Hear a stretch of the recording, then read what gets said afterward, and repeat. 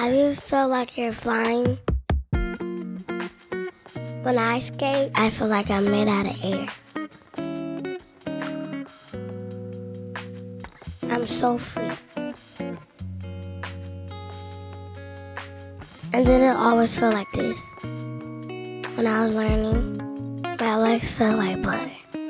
I didn't trust myself.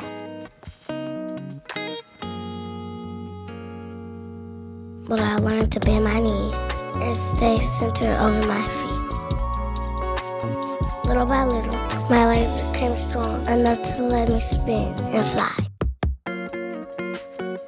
I feel so free when I'm skating. When it was hard and painful, sometimes I still fall down. When you learn what's hard, what makes you feel free?